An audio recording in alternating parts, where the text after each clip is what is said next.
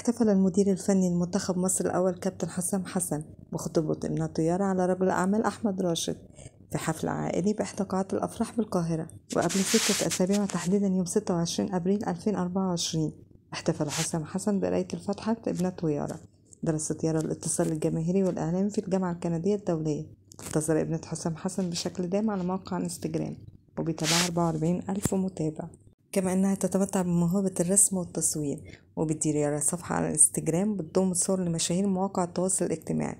بتشارك يارا متابعيها صورها مع والدها حسام حسن والدتها هويدا الغرباوي. بالإضافة إلى شقيقتها وشقيقها عمرو اللي بيحب السفر وسباق السيارات. كما أنها تعمل يارا في مجال الموضة والفاشن وتمتلك صفحة لبيع الملابس الصيفية.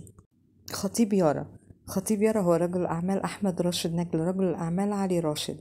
وهو رئيس مجلس إدارة مجموعة راشد للاستثمار والعضو المنتدب لشركة طيبة للحديد والعضو المنتدب لشركة القاهرة للزيوت.